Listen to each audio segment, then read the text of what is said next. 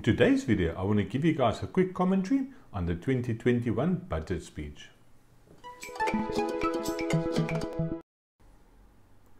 My name is Heinrich Grove and I've been in the accounting industry since 2008. I'm the owner of SA Accounting Network and we've got a network of many different accountants over South Africa that can help you with your small business and audit tax related matters for individuals. So if you are looking for an accountant, our details are in the description below, so make sure to get in touch with us. Let me head on to my computer and then I can show you what I've prepared for you for today. So on my commentary that I want to do about our budget speech, there was a couple of small things that stood out um, in the budget. Actually, not small things, they were actually quite big things. So the first thing is when our minister talked about the deficit. so the first thing they said that our budget revenue um, is 1.36 trillion rand. The budget spend was 2.05 trillion rand. So it means that we can have a shortfall of almost 700 billion rand. So you can see over here uh, on this um, revised estimate that they give it. So these are just a few snippets from the material that they published on the uh, on the Treasury's website. So you can see the revenue they estimate you can that it's going to be 1.36 trillion. You can see our expenses 2.52 trillion, and then you can see that we've got a budget balance of minus 700 billion rand. So that is a lot of money to be short on. And just remember that that um, shortfall, uh, they're basically going to have to borrow that money to get that money back into um, or to get the money available for us to to um, to spend on those things. So you can see on the right hand side, this a, a consolidated government expenditure expenditure sheet. So you can see where all the money is actually going to. And something that's interesting is the normal expenses is 1.8 trillion rand. Then you can see over there where it says debt service cost. It means that that is the cost that we are paying to borrow that 700 billion rand that we short. So we're paying in 232 billion rand in debt service cost, which is quite scary. Uh, there was something that I took out there out of the budget speech itself. He said there on point number seven, so we must advise this House that we now expect to collect 1.21 trillion in taxes during 2020-21, which is about 230 billion rand less than our 2020 budget expectation. This is the largest tax fall tax shortfall on record. So in our record of our country, this has been the biggest shortfall on revenue collections that we've ever had so far.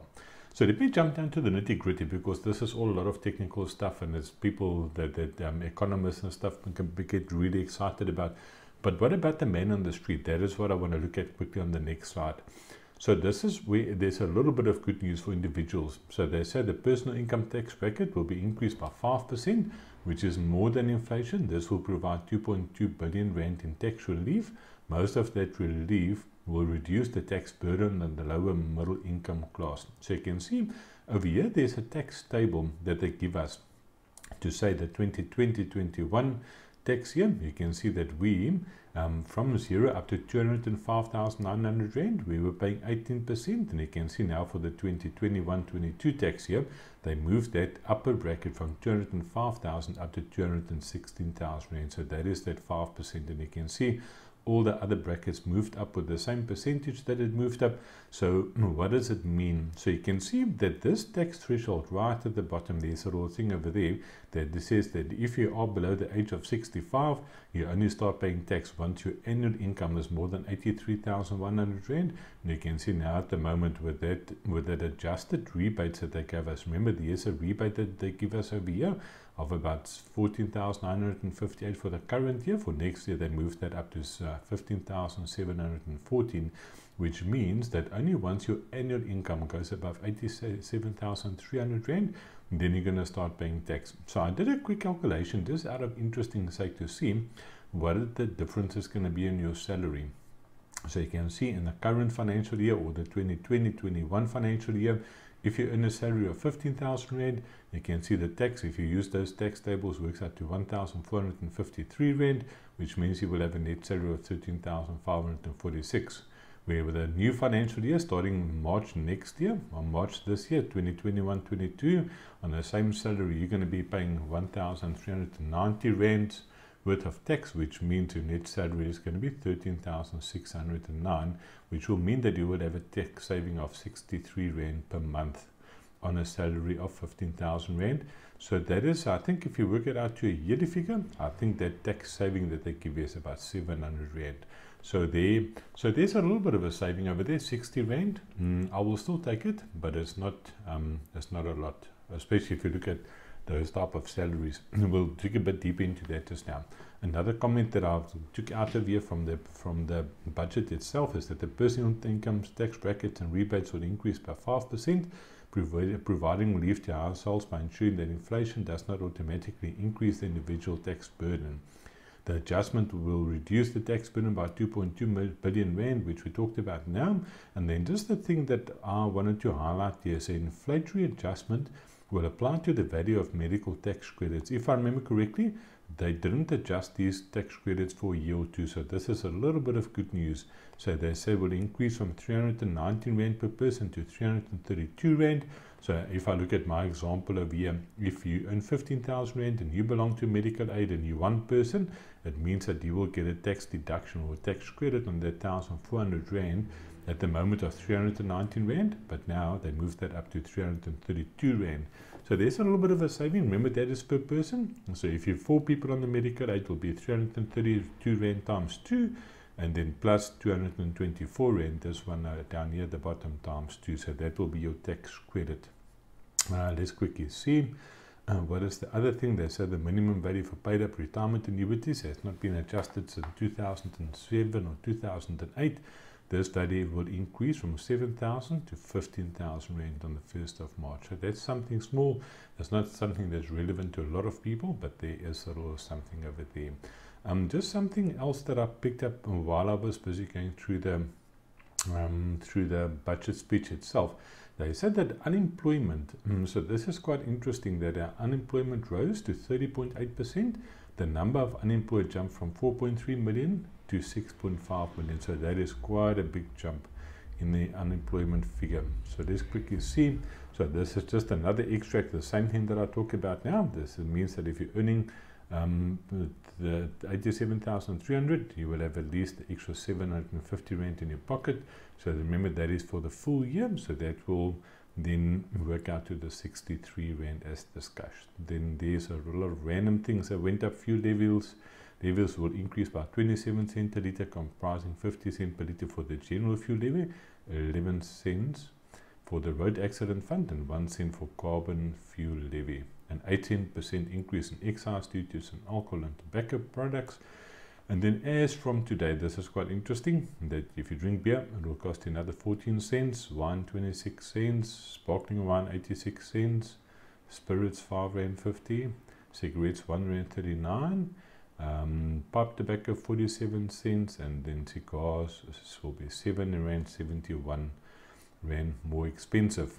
Which is probably not good news for all the drinkers and smokers out there. So take it easy. Let's have a quick look. So this was an interesting table that I came across as well. So the proposed tax schedule 4.4. So here they give us a little bit of information as well. So this is on annual incomes. Let's quickly have a look. So during the 2021, 2020-21, if you earned 85,000 Rand per year, your tax would have been 304, 342 Rand. You can see now if you earn 90,000 Rand, you can see your tax went down from mm, 1,200 Rand down to 486 Rand. And you can see then it goes up, up, up. But like I said, the higher you go into the tax bracket, the bigger that saving becomes. But if you look percentage-wise, you can see obviously for somebody that earns 85,000 Rand, they've got a 100% saving in tax. So you can see marginally that amount becomes smaller and smaller. So the benefit that you get is becoming smaller, the bigger your income is. Um, so that was just something interesting. So you can see in which one of these tax brackets you fall. So if you earn 250,000 Rand, it means that your tax change, you will save 1,580 Rand for the year, which will probably about 100 and something Rand per month extra that you will have in your pocket. So we'll still take it. Um, here was this uh, interesting tax table that they showed over the estimates of individuals and taxable income. So this is just the number of the um, registered individuals in each of those categories. So people earning from zero to 80,000 rand per month is 7 million. Then they get uh, per year there's 80 between 80,000 and 150,000. You can see 1.8 million. Then it goes all the way down.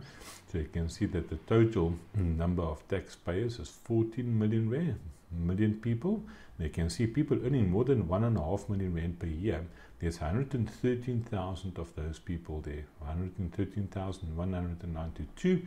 And something that's interesting, if you look at those guys, pay 26% of our country's tax or individual tax that they contribute to. Mm, yeah, so that is um, it's quite a scary statistic that only 113,000 people in our country contributes 26% of all tax that is um, and that is paid um, for by individuals. Let's quickly have another quick look over here. There was something interesting that I saw. The economic growth in selected countries. So they compared a lot of different countries. You can see worldwide, 2018 there was a 3.5% growth.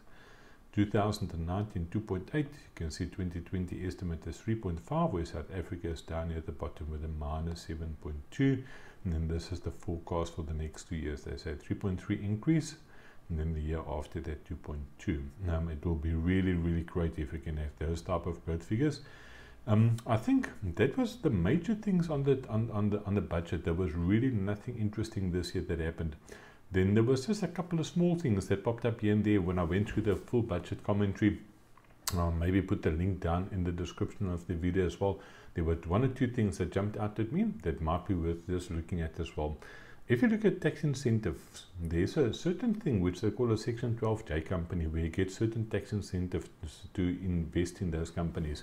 So here they say that the sunset date for the venture, venture capital com companies incentive, which was initiated in 2009 to encourage retail investments in smaller businesses, will not be extended beyond June 2021. So they, what they wanted to do is they that you get certain deductions if you invest in those type of companies for tax purposes. So they, they, they were talking of possibly extending that period, but now they came back and said no, June 2021, that is the end of the line. They're not going to allow those tax deductions after that year. Um, something jumping back to our personal tax, which is also a little bit scary. They say in this coming fiscal year, SARS will establish a dedicated unit to improve compliance of individuals with wealth and complex financial arrangements.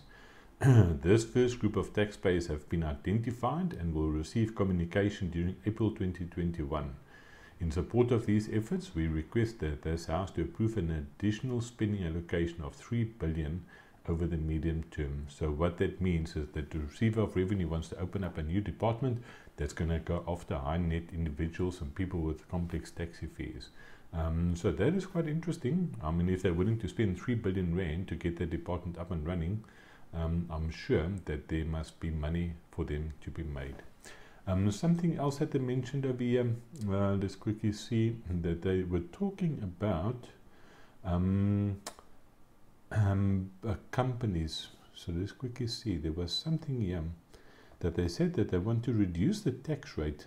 Um, let's quickly see. No, they said Budget 20 review re revealed that the government intends to restructure the corporate income tax system in a revenue neutral manner. This requires broadening the tax base with limiting assessed losses and interest expense and deductions to ensure the proposals are affordable. Since February 2020, many businesses have either closed down or in financial distress as a result of pandemic-related restrictions.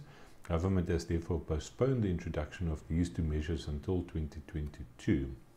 And then um, they were talking about that they were going to be reducing the tax rate. Let's quickly see.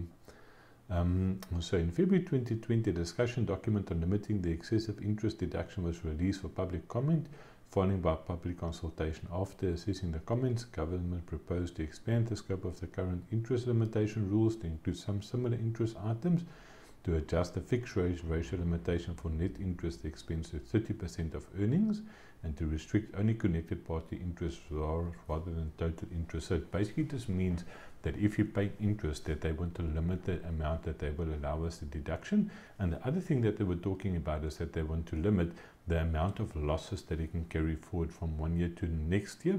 But in the same breath, they said that they're going to lower the tax rate for companies for down to 27%. But that might only happen in 2022. Um, in 2022, um, before they will actually reduce the tax rate. But then the limitations that they put on the interest and your assessed losses, they say that those two should compensate for each other.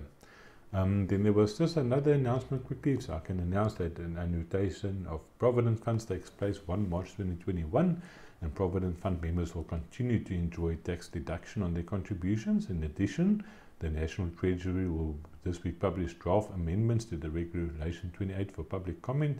The proposed amendments to Regulation 28 seek to make it easier for retirement funds to increase investment in infrastructure. So that was quite an interesting thing that they were talking about. It's been in the cards for quite a few years, no, for quite a few months, where they're talking about changing that regulation, um, which I personally don't think is a good thing, but that's is my opinion. Um, so yeah, so that was, I think, our budget commentary for this year. It was really not much happening in the budget wise. I think um, a lot of people expected a lot worse during the budget for this year, at the budget speech from, from our minister. Um, but thankful, we're really grateful that they didn't change a lot. It's so scary to see how much money we're going to be short um, for the current year, or that they're predicting that we're going to be short on. And um, I think obviously they have to get that money somewhere, so they're going to have to borrow money. And um, yeah, so if you like the video, remember to like the video, subscribe to my channel, and share the video with your friends. If you want to contact us, our contact number at the office is 0217853306, or you can send us a WhatsApp and 082 Thank you guys for watching. I'll see you again soon.